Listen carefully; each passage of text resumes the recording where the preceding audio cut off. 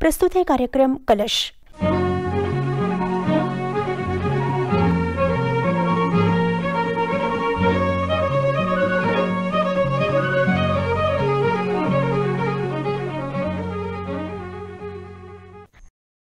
श्रोताओं नमस्कार।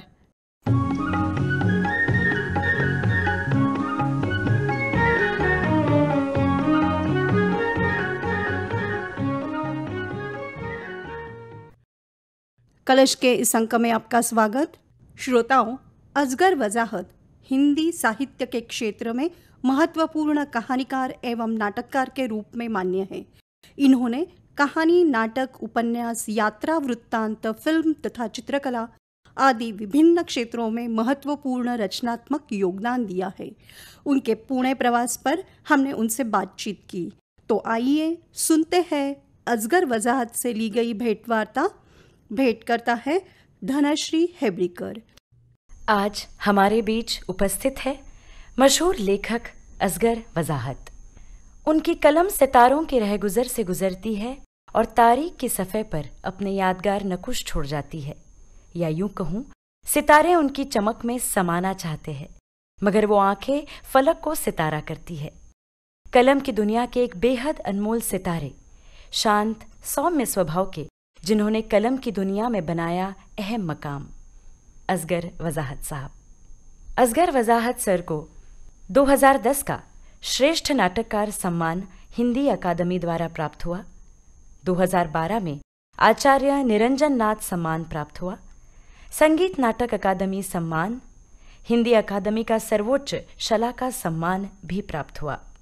विद्वान लेखक, विचारवंत, भाषा विशेषज्ञ संवेदनशील चित्रकार। ऐसे बहुआयामी असगर वजाहत। जीवन के किस मोड़ पर आपने लेखन का सफ़र शुरू किया और आपकी क्या प्रेरणा थी? देखिए, बात काफ़ी पुरानी है। ये शायद 1962-63 की बात है, जब मैं छात्र था। पढ़ता था यूनिवर्सिटी में और उसके बाद ही उसी दौरान लिखना शुरू किया। और तब से लेकर अब तक कुछ अंतराल तो बीच में आए, लेकिन लिखना जारी रहा। तो पहला नाटक मेरा उन्नीस में लिखा गया था, जो उस समय की एक बड़ी प्रतिष्ठित पत्रिका में छपा था। ये एक व्यंग नाटक था। इस व्यंग नाटक लिखने के बाद फिर मैं दिल्ली आ गया और दिल्ली में फिर नाटक लिखने का सिलसिला जारी हुआ। तो इस तरह से शुरुआत के बारे में जो आप पूछ रही हैं तो शुरुआत ऐसे हुई। आपके नाटक पर फ़िल्में भी बनने जा रही है ऐसी चर्चा है सर तो वो कौन से नाटक है और उनके क्या विषय है?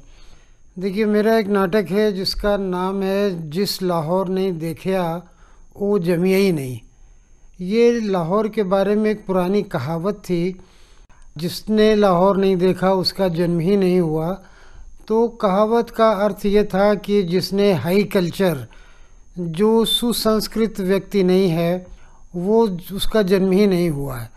तो ये बहुत एक तरह से लोकप्रिय नाटक है, जिसके सैकड़ों शो हो चुके हैं भारत में और भारत के बाहर। इसी नाटक के ऊपर राजकुमार संतोषी ने स्क्रिप्ट तैयार करवाई है, जिसमें मैं भी भागीदार रहा हूँ। इस पर वो एक फ़िल्म बनाना चाहते हैं इस नाटक पर। और दूसरा नाटक है मेरा Godse at Gandhi dot com. इसके ऊपर भी वो बनाना चाहते हैं फ़िल्म। तो ये दो नाटक हैं जिनके ऊपर फ़िल्म बनने की योजना है। और आशा है कि निकट भविष्य में फ़िल्म में इन दोनों नाटकों पर बनेंगी। सर, आपने जिस लाहौर नहीं देखा, वो जमियाई नहीं, इस नाटक के बारे में बताया। सर, ये नाटक पाकिस्तान में बैन किया गया। तो बतौर लेखक, जब ये नाटक दुनिया के किसी हिस्से में बैन किया जाता है, आपको क्या लगा था और आपके इस मामले में क्या विचार है? देखिए, ऐसा है कि पाकिस्तान में इस नाटक को बैन किया गया, ये एक बड़ी मूर्खता, मूर्खतापूर्ण बात थी।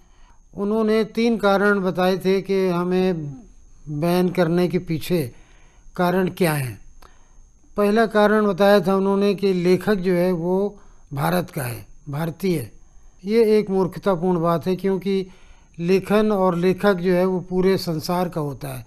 वो किसी एक देश का नहीं होता। अब जैसे टैगोर हैं, टैगोर भारत में पैदा हुए, लेकिन पूरे विश्व के लेखक हैं। इसी तरह से लेखक को आप उसके सीमाओं में बाँध नहीं सकते।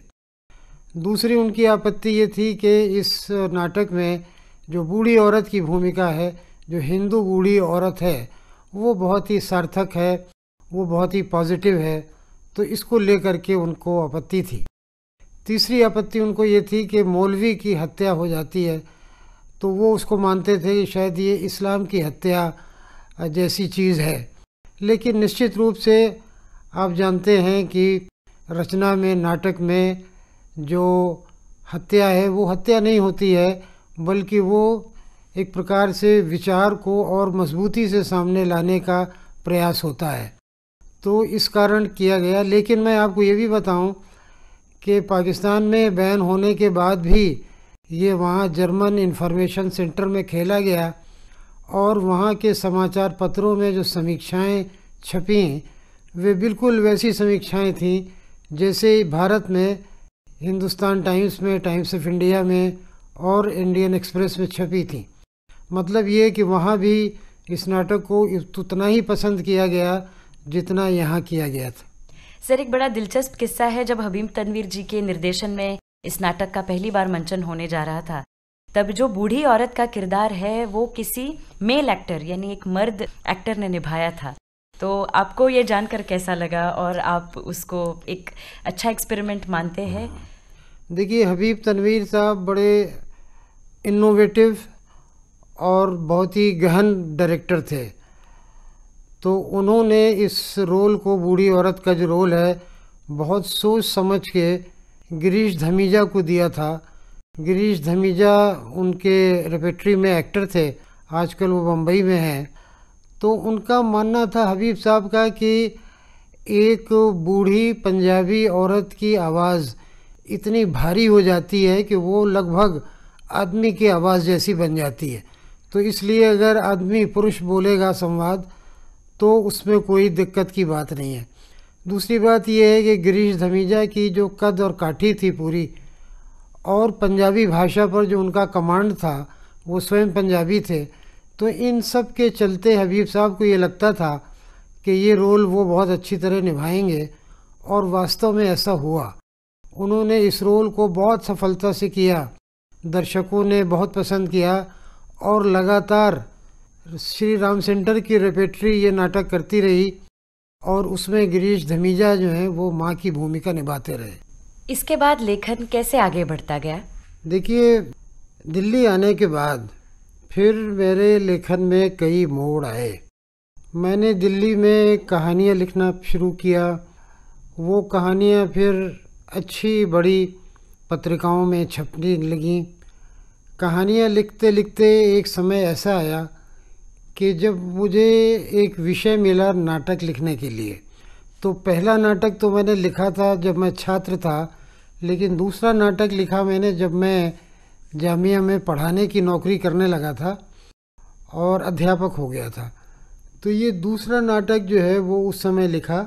ये एक लोक कथा के ऊपर आधारित था और इसका नाम था इन्ना की आवाज़। तो ये नाटक फिर वहाँ जो नेशनल स्कूल ऑफ़ ड्रामा है, उसके छात्रों ने मिलके किया था और अनिल चौधरी नाम के निर्देशक थे, उन्होंने इसको निर्देशित किया था तो ये मेरा पहला नाटक था जो दिल्ली में बड़े स्तर के ऊपर प्रदर्शित हुआ उसके बाद फिर कहानियाँ लिखने का दौर शुरू हो गया, फिर कहानियाँ लिखता रहा और कुछ साल के बाद मैंने ये सोचा कि अब मैं उपन्यास लिखने की कोशिश करूँ। तो मैंने दो उपन्यास जो है वो अभ्यास के लिए लिखे कि मैं धीरे धीरे कैसे सीखूं उपन्यास लिखना तो वो अभ्यास था मेरा, जिनको मैंने छपवाया नहीं। वो ऐसा लगा कि एक्सरसाइज है तो उसको एक्सरसाइज के रूप में लिखा। उसको लिखने के बाद फिर जो मेरा मेजर उपन्यास बड़ा, आया, जिसकी काफ़ी चर्चा हुई, और जिसके दूसरी भाषाओं में अनुवाद भी हुए हैं उस उपन्यास का नाम है सात आसमान। सात आसमान जो है वो तीन सौ साल की कहानी है, जो अपने अंदर बहुत से पात्रों को, बहुत सी स्थितियों को, बहुत से परिवर्तनों को, बहुत से सामाजिक आंदोलनों को, बदलती हुई राजनीति को, ये सब अपने अंदर वो उपन्यास समेटे हुए है। तो ये उपन्यास प्रकाशित हुआ, राजकमल ने इसको छापा। ये 1980 के आसपास प्रकाशित हुआ था। उसके बाद फिर दोबारा एक विषय हाथ में आया और ये सोचा कि अब नाटक लिखें। तो नाटक, उपन्यास और कहानी, ये तीनों विधाएँ जो हैं, वो लगभग साथ साथ चलती रहीं। कोई ऐसा नहीं हुआ कि एक विधा पूरी तरह छोड़ के मैंने दूसरी विधा में लिखा हो, ऐसा नहीं हुआ। तो नाटक, अगला नाटक जो मैंने लिखा वो एक राजस्थान की लोक कथा पर आधारित था। इसका नाम था वीर गति। ये एक राजस्थान की लोक कथा थी जिसको विजयदान देथा ने संकलित किया था। इसका पहला निर्देशन जो किया, एम के रैना ने किया। एम के रैना ने इसका पहला शो किया। और इसमें चूँकि ये म्यूज़िकल है तो इसका बड़ा अच्छा संगीत कंपोज हुआ। इसके गाने कंपोज हुए। और इसके काफ़ी शो दिल्ली में हुए। और इतने सालों के बाद अब भी कुछ ग्रुप ऐसे हैं जिसका नाटक का शो करते हैं। तो इस नाटक को लिखने के बाद फिर कहानी लिखना शुरू हुआ। तो यही सब चलता रहा इस बीच। और ये समझ लीजिए कि उन्नीस सौ पचासी नब्बे तक ये काम होता रहा लेखन का। नाटक में फिर मेरी रुचि ज़्यादा बढ़ गई तो मैंने उसके बाद और दूसरे नाटक लिखे जिसमें कि प्रसिद्ध नाटक जो लोकप्रिय हुआ वो ये है जिस लाहौर ने देखा वो जमिया ही नहीं। सर नुक्कड़ नाटक भी आपने लिखा। उसके ऊपर कुछ प्रकाश डालिए। नुक्कड़ नाटक जो है वो एक प्रकार का छापामार प्रतिक्रिया है। जैसे कि आपने गली के नुक्कड़ पर नाटक किया और मंडली आगे बढ़ गई फिर कहीं किया, फिर मंडली आगे बढ़ गई। तो ये एक ऐसी प्रक्रिया है कि जो थोड़ी देर के लिए शुरू होती है और फिर समाप्त हो जाती नुक्कड़ नाटकों का आंदोलन जो है हिंदी प्रदेशों में शुरू हुआ था सन सत्तर के आसपास। सन सत्तर के आसपास सर्वेश्वर दयाल सक्सेना का नाटक बकरी और दूसरे लोगों के, रमेश उपाध्याय का नाटक था। मैंने भी कुछ नाटक लिखे और जन नाट मंच नाम की एक संस्था बनी थी, जो इस नाटकों को करती थी। उसमें कविता नागपाल जो हैं, वो उन नाटकों का निर्देशन करती थी। बाद में सफदर हशमी ने भी करना शुरू किया। और नुक्कड़ नाटकों में मेरा सबसे चर्चित नाटक जो है, वो है सबसे सस्ता गोश्त। ये सद्भाव के ऊपर नाटक है, ये धार्मिक सद्भाव के ऊपर है। ये धार्मिक समन्वय के ऊपर नाटक है। ये बताता है कि किस प्रकार से मनुष्यता मनुष्य और मानवीय संबंध जो हैं वो बहुत महत्वपूर्ण हैं। तो ये नाटक के लगभग पाँच हज़ार से अधिक शो हुए हैं विभिन्न भाषाओं में और विभिन्न रंगकर्मियों द्वारा। इसके बाद और भी नुक्कड़ नाटक लिखे तो मेरे कुल चौदह या पंद्रह नुक्कड़ नाटक हैं। उनका एक संकलन प्रकाशित हुआ है। सर हिंदी नाटक को लेकर आज क्या स्थिति है और क्या ये स्थिति आपको लगता है कि भविष्य में और अच्छी होगी? देखिए हिंदी नाटक की आज स्थिति ये है कि उसका क्षेत्र व्यापक हो रहा है। क्षेत्र व्यापक हो रहा है का मतलब है कि वो दिल्ली और हिंदी प्रदेशों की राजधानियों से बाहर निकल रहा है। जैसे लखनऊ भोपाल जयपुर या शिमला। इन प्रांतीय राजधानियों से आगे बढ़ा है हिंदी नाटक और उन शहरों तक आया है जिन शहरों में पहले हुआ नहीं करता था। तो इस तरह हम कह सकते हैं कि हिंदी नाटक का जो क्षेत्र है, वो व्यापक हो रहा है, वो फैल रहा है। जहाँ तक विषयों का सवाल है, हिंदी नाटक में ऐसे विषय आ रहे हैं जो पहले नहीं थे। उदाहरण के लिए स्त्रियों की समस्याएँ, उदाहरण के लिए बच्चों का जीवन, उदाहरण के लिए पारिवारिक समस्याएँ। ये सारे के सारे विषय जो हैं, ये हिंदी नाटक में आ रहे हैं और हिंदी नाटक के अभिनेता और निर्देशक, ये भी चूँकि युवा लोग हैं, इसलिए ये युवाओं की समस्याओं को भी नाटक में लाने का पूरा प्रयास कर रहे हैं।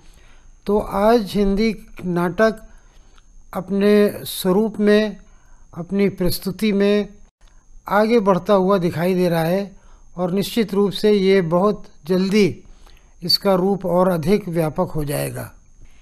सर आप केवल सांप्रदायिक सद्भाव इस विषय पर लिखना पसंद करते हैं कि अलग अलग विषयों पर भी लिखना पसंद करते हैं? देखिए सांप्रदायिक सद्भाव एक बहुत ही प्रमुख और बड़ा विषय है मेरी रचनाओं में। क्योंकि मेरा मानना ये है कि लेखक जो है अपने समाज के प्रति और समाज की उन्नति के प्रति और समाज में सद्भाव के प्रति कमिटेड होता है। उसका काम होता है कि वो समाज को एक दिशा दे, समाज को एक डायरेक्शन दे। और भारत का हमारा समाज जो है, ये आप जानते हैं कि विविधता में एकता का समाज है। हमारे देश में जो विविधता है उसमें एकता होनी आवश्यक है।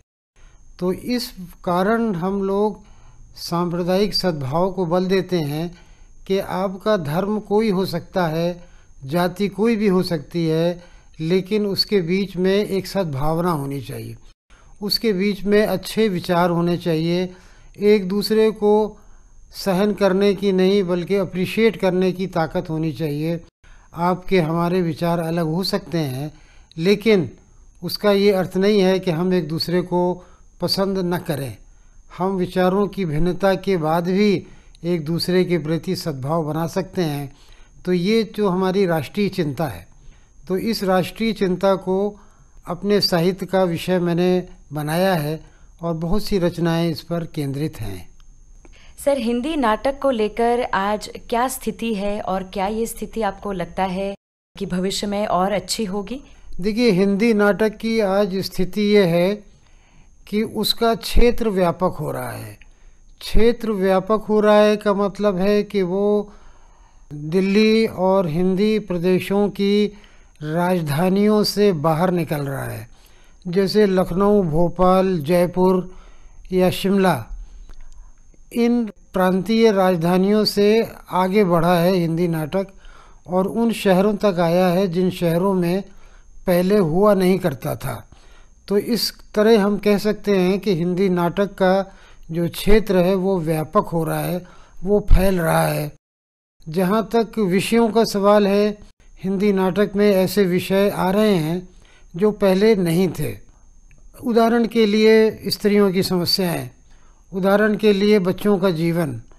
उदाहरण के लिए पारिवारिक समस्याएँ। ये सारे के सारे विषय जो हैं, ये हिंदी नाटक में आ रहे हैं और हिंदी नाटक के अभिनेता और निर्देशक, ये भी चूँकि युवा लोग हैं, इसलिए ये युवाओं की समस्याओं को भी नाटक में लाने का पूरा प्रयास कर रहे हैं। तो आज हिंदी नाटक अपने स्वरूप में, अपनी प्रस्तुति में आगे बढ़ता हुआ दिखाई दे रहा है और निश्चित रूप से ये बहुत जल्दी इसका रूप और अधिक व्यापक हो जाएगा। सर आप अलग अलग पुरस्कारों के समितियों पर भी है। उसके बारे में हमें कुछ बताइए। देखिए ऐसा है कि लेखक को और विशेष रूप से युवा लेखकों को इनक्रेज करने के लिए उनको प्रोत्साहित करने के लिए बहुत प्रकार के अवार्ड और सम्मान दिए जाते हैं। हिंदी भाषा में ऐसे अवार्डों की संख्या कम से कम दो दर्जन से अधिक है। मतलब कम से कम 25 ऐसे अवार्ड हैं जो दिए जा रहे हैं। और ये सब अवार्ड सीनियर राइटर्स से मशवरा करके, उनके साथ बातचीत करके, उनकी कमेटियाँ बना करके तय किया जाता है कि ये अवार्ड किसको दिए जाएँ। तो जिसको ये अवार्ड दिया जाता है, वो एक प्रकार की उसको मान्यता मिलती है कि उसका लेखन जो है, वो अच्छा है और बड़े लेखकों ने और विद्वानों ने उस लेखन को सराहा है। तो इस तरह की एक अवार्ड कमेटी है जो ज्ञानपीठ द्वारा गठित की गई है। तो इस, आप जानते हैं कि देश का सबसे बड़ा सम्मान जो है, वो ज्ञानपीठ पुरस्कार है। तो इस चयन समिति का एक सदस्य मैं रहा हूँ। ये समिति तीन वर्षों के लिए होती है, तीन वर्षों के बाद बदल जाती है। परमानेंट नहीं होती है। इसी कारण के नए नए विचार नए नए लोग सामने आ सकें और कहीं कोई बात रह न जाए। इसलिए ये समिति बदलती रहती है। तो ये समिति दूसरी समितियों के आधार पर, जैसे उनकी भाषा की समितियाँ हैं। मान लीजिए मराठी भाषा की समिति है, तेलुगु की है, कन्नड़ की है, मलयालम की है। तो ये भाषा की समितियाँ जो है, संस्तुति करती हैं, वो सेंट्रल कमेटी के पास आती हैं। तो सेंट्रल कमेटी फिर उनको देखकर ये निर्णय लेती है कि किस भाषा के किस लेखक को इस वर्ष ये ज्ञानपीठ पुरस्कार मिलना चाहिए। तो ये एक बड़ी पारदर्शी और बड़ी एक निष्पक्ष किस्म की प्रक्रिया है, जिसके तहत भारत का सबसे बड़ा साहित्यिक सम्मान दिया जाता है। सर, इस वक्त हिंदी साहित्य को लेकर कैसा काम हो रहा है? आपके इस पर क्या विचार है? देखिए, हिंदी साहित्य का क्षेत्र अब बहुत व्यापक हो गया है। आप जानती हैं कि हिंदी बोलने वालों की संख्या पचास करोड़ के लगभग है। तो ये पचास करोड़ लोगों की भाषा है और भारत के लगभग सभी प्रांतों में ये समझी और बोली जाती है। पहले ये था कि इसका लेखन केवल हिंदी क्षेत्रों में ही होता था लेकिन अब इसका लेखन हिंदी क्षेत्रों से बाहर हो रहा है। मतलब ये कि ऐसे प्रदेशों में हिंदी लेखन हो रहा है जहाँ हिंदी कम बोली जाती है। उदाहरण के लिए कर्नाटक है, उदाहरण के लिए केरल है, उदाहरण के लिए तमिलनाडु है, उदाहरण के लिए महाराष्ट्र है। इन प्रांतों में भी हिंदी लेखन शुरू हुआ है। तो इसका मतलब ये है कि हिंदी लेखन व्यापक हो रहा है। हिंदी की पत्रिकाएँ और हिंदी के समाचार पत्र। आप जानते हैं कि विश्व का आज सबसे बड़ा समाचार पत्र जो है, वो एक हिंदी समाचार पत्र है, जिसकी प्रसार संख्या विश्व के किसी भी अखबार से अधिक है। तो इस तरह से हिंदी जो है, वो विश्व की एक प्रमुख भाषा बन चुकी है, जिसमें लेखन और प्रकाशन। प्रकाशन की स्थिति में बताऊँ कि हिंदी में बीस हज़ार पुस्तकें प्रतिदिन छपती हैं। प्रतिदिन का एवरेज आता है। तो इसका मतलब क्या हुआ? इसका मतलब ये हुआ कि लेखन बड़े स्तर पर हो रहा है, प्रकाशन हो रहा है, लोग पढ़ रहे हैं, पुस्तकें बिक रही हैं, लोग खरीद रहे हैं। तो इस प्रकार से ये हिंदी साहित्य का क्षेत्र व्यापक हो रहा है। और सर जहाँ तक नाटकों का सवाल है हिंदी नाटकों का सवाल है कई बार ऐसा देखने में आता है कि कई बार ओरिजिनल वर्क से ज़्यादा ट्रांसलेटेड वर्क को लोग करना पसंद करते हैं।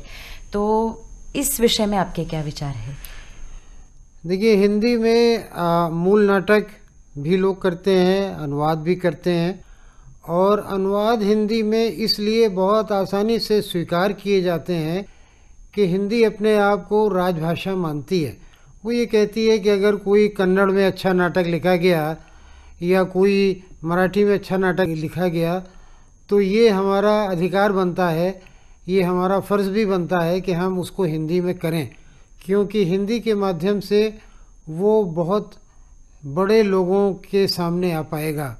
उसका जो क्षेत्र है बड़ा व्यापक हो जाएगा। तो इसलिए अनुवाद किए हुए नाटक भी होते हैं और मूल नाटक भी हिंदी में होते हैं दोनों किए जा रहे हैं। सर आप लेखक के साथ साथ एक संवेदनशील चित्रकार भी है। आपने समाज में जाकर सामाजिक काम भी किया है। तो एक लेखक होने के नाते आपने इन क्षेत्रों को किस प्रकार देखा? देखिए लेखक के लिए ज़रूरी है कि वो अपने समाज को समझे। और समाज को समझने के लिए ज़रूरी है कि समाज के साथ जुड़े, समाज के साथ उसकी संलग्नता हो। तो मैंने जहाँ जहाँ मौका मिला, मैं आदिवासी क्षेत्रों में भी गया, मैं पिछड़े हुए इलाकों में भी गया, मैं ऐसी एक्टिविटीज़ में भी शामिल रहा, जिनमें मुझे समाज को समझने का अवसर मिले। तो इस तरह से मैंने बच्चों के जीवन को, महिलाओं के जीवन को बूढ़े लोगों के जीवन को समझने की कोशिश की और उनके ऊपर लिखा है। तो मेरा जो अनुभव संसार है, उसको बढ़ाने के लिए ये आवश्यक था कि मैं अपने केवल मैं सीमित न रहूँ, बल्कि एक प्रकार की व्यापकता आए। तो वो व्यापकता जो है, उसने लेखन को भी इनरिच किया है और मुझे भी बहुत सी जानकारियाँ मिली।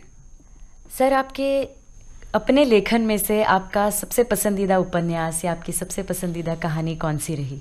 देखिए, अपने लेखन में सर्वश्रेष्ठ चुनना लेखक के लिए थोड़ा कठिन काम है।